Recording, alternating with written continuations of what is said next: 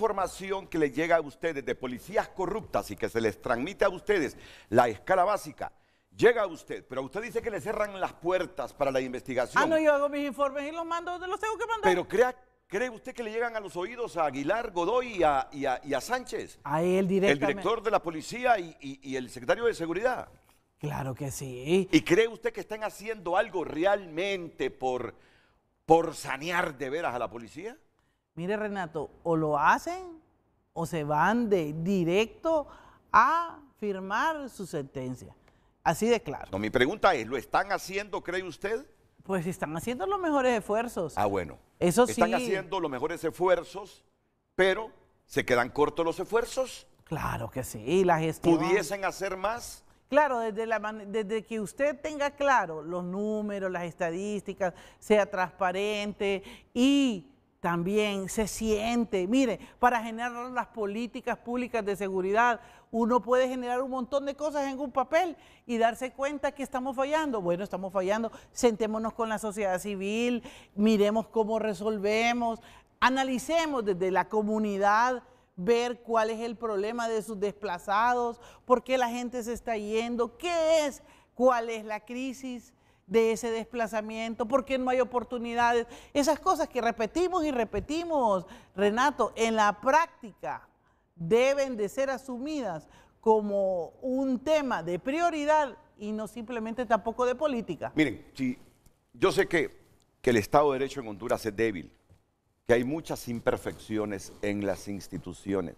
Y esa es la lucha que debemos librar todos los hondureños, cada quien en su trinchera, fortalecer la institucionalidad, volverla seria y que realmente nos sintamos orgullosos de tener un verdadero y eficiente Estado de Derecho. Yo les digo, esta entrevista en un país de primer mundo sería un escándalo mayúsculo. La segunda al mando de la Subsecretaría de Seguridad me dice que hay estructuras corruptas de la policía. Y a esta hora de la mañana, en un medio de comunicación de Noruega, de Dinamarca, de Suecia, de Alemania, de cualquier país europeo, algunos países de América Latina, en Estados Unidos yo sé que hay policía corrupta, corrupta, pero sé que los castigan. Pero ahí mismo, esta entrevista se estuviese dando en un país de esos que les menciono, con estados de derecho más sólidos, donde la institucionalidad no aguanta paja y donde la población es más fuerte para demandar castigos. Miren, esto sería un escándalo. Cuando vengo yo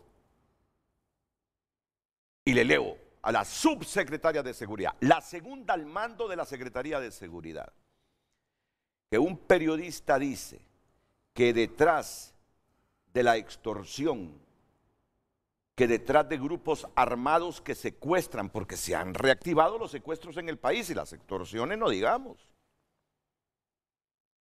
que se reactivan los plagios y dice que se acusa a la Dipanco de estar detrás y que ella no me lo rechaza. Yulisa no me lo ha rechazado, me dice Renato, es que hay estructuras corruptas dentro de la policía.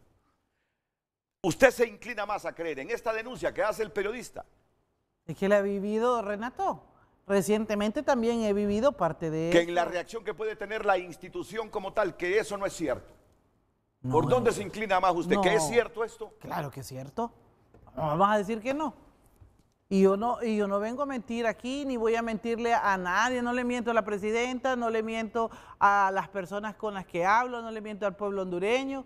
Realmente yo soy una hondureña que está enfocada como usted en querer buscar un sitio seguro donde vivir, Renato. Obvio, claro. Donde trabajar con oportunidades. Pero definitivamente Honduras está sumida en una mala gestión en relación a la eliminación total de lo que es corrupción, impunidad, falta de valores. Aquí estamos acostumbrados a mentir, a irnos por nuestros propios intereses, a robar. Entonces las instituciones son vistas como un saqueo. Yo precisamente, y se lo voy a decir, se lo repetí una vez cuando le comentamos con, con, con Sandra lo que fuimos encontrando. Lo que pasa es que nadie nos ha escuchado en realidad en qué fue lo que encontramos en esos dos meses de, de intervención y saber que los huevos estaban elevados, siempre se lo dije, a más de 136 el, el, el, el ¿cómo se llama? Los 12 huevos. Sí, sí, sí, sí. ¿Verdad? Y las tortillas y, todo eso. Sí, pero que se vendían, se producían dentro de la granja en como ya 80 y se vendían a 136. Pero que al no firmar yo el primer cheque de 5 millones, me dijeron, doctora, pero si es que hay aquí a una persona que se le está dando una coima de 100 mil semanales. ¿Un agente del Estado? Claro, entonces le digo, ¿sabes qué? Vamos a, yo me junté con, mandé una nota donde el señor Edmundo Orellana para que me acompañara, hice acompañarme también precisamente de auditores y que, que revisaran las finanzas. Y mire, ve Renato, cuando yo empecé a encontrar esas cosas, inmediatamente sacar a los oficiales que los ponía a disponibilidad de la, de la DIDAPOL y se los mandaba de directos a Sánchez Velázquez para que a estas personas las investigara. ¿Y qué pasaba? Los agarraba él y solo los colocaba en otros lugares de privilegio. No le voy a dar más nombres, pero muchas cosas de esas me decepcionaron porque no es posible tampoco que quien esté generando eh, irregularidades ahí porque los mismos proveedores lo estaban diciendo, y eso que son las cosas lícitas. Si vamos a hablar de las cosas ilícitas, que son situaciones, ¿cómo quería que controláramos Támara, por ejemplo? Si un individuo que era de la cabeza de nosotros iba y se iba donde los delincuentes, donde las estructuras, a decirle, van a hacer esto, esto y esto y esto y esto. Cuando yo lo afronto y le digo, bueno, señor. ¿Civil, civil o policía? No, policía. Más bien le dio un ataque de nervios que estuvo hasta interno. Ajá, cuando usted lo enfrentó, ¿qué le dijo? Ah, no, que no, doctora, que cómo se ponía que... Y cómo no vas a ver si la inteligencia me lo está diciendo. Doctor, ustedes trataron esto, esto y esto y esto. Y te digo yo, ¿con quién estoy? Que ese policía estaba coludido con las redes criminales. Claro, porque pasan toda la... Claro, pasan toda la información de una a otra. Es un eslabón ahí, es una hipocresía, es un interés eh, creado que realmente a mí me asombró Mire, antes, antes de que la empiecen a llamar loca, porque em, con, ese epíteto muchas veces se le descalifica. Cuando usted comienza a hacer estas denuncias, yo he escuchado gente que dice que está loca esa mujer. Y yo, les digo algo, estoy con una científica, estoy con una profesional de las ciencias médicas. Cuando a, mí me dicen, si está loca esa mujer, yo no sé para qué usted la lleva.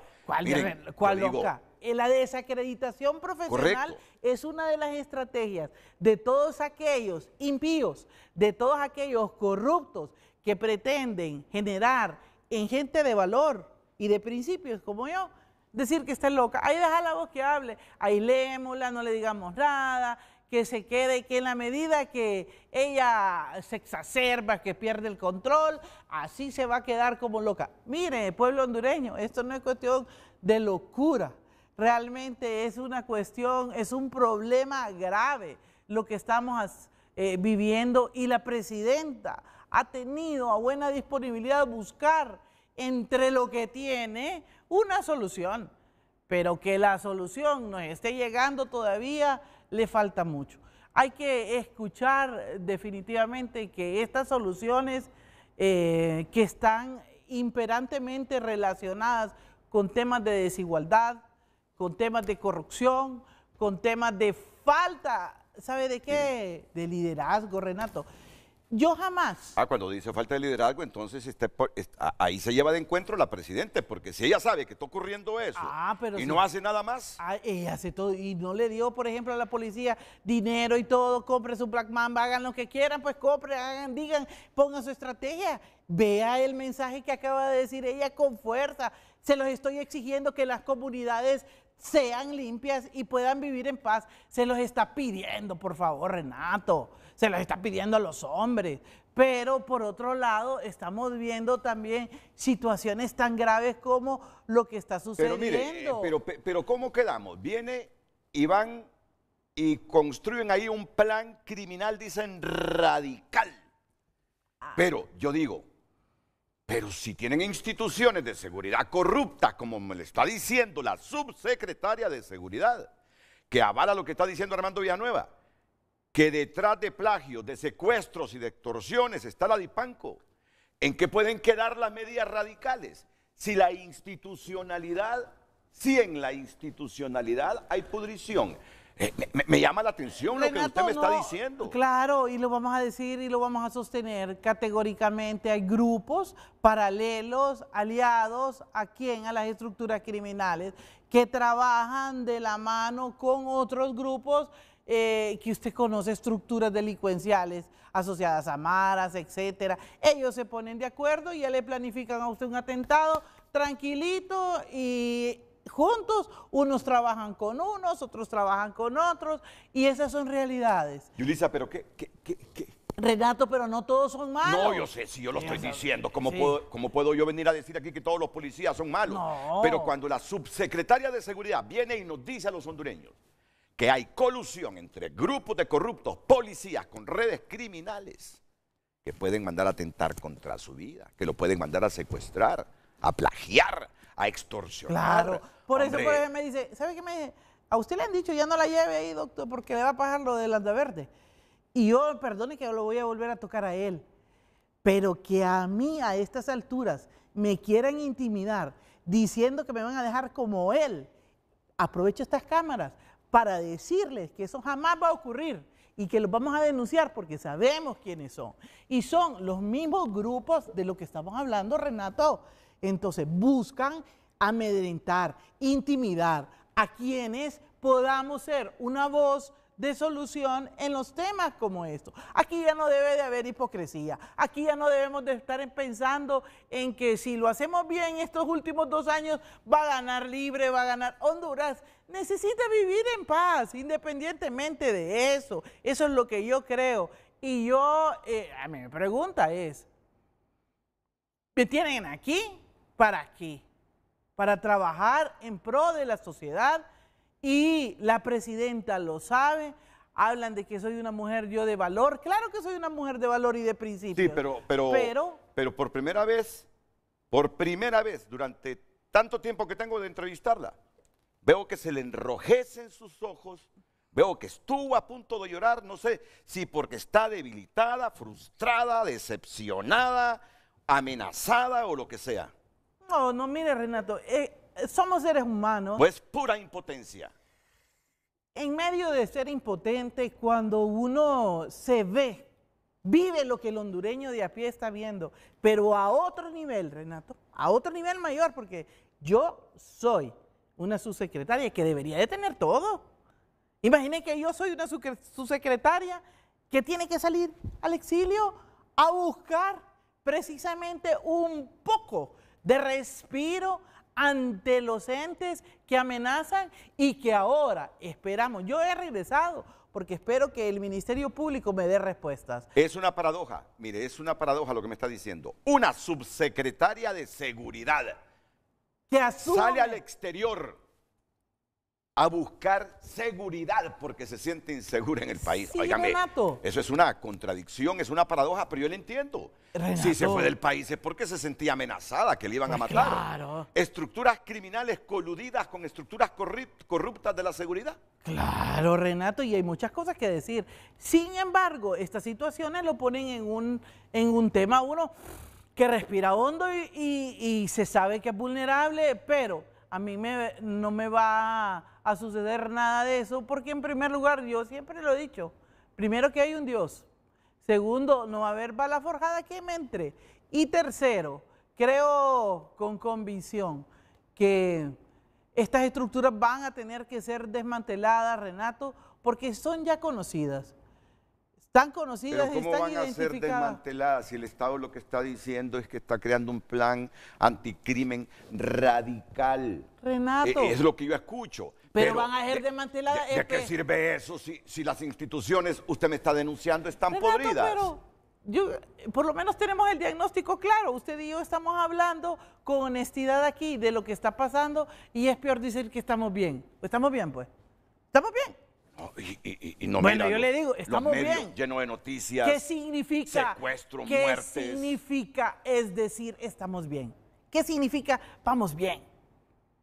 Vamos bien. Es un tema integral. Vamos luchando. Eh, el general Sánchez no es que se está, se está quemando y él lo sabe. Aquí estoy yo para apoyarlo. Aquí estoy yo para también el otro ministro Mire, de mire, seguridad. Mire, mire qué expresión. El general Sánchez, cuando dice general Sánchez, está hablando del secretario de seguridad. Se está quemando ¿por qué? Porque, porque chapalea en, en un nivel de pudrición bárbaro en la policía sin, sin, sin terminar de resolver ese problema. Bueno, porque primero él mismo tiene que hacer eh, dentro de la policía grandes esfuerzos. Si es que los quiere ver, Ah, ya le dije que esta es una estructura vertical bien, Es que hay bien veces que difícil.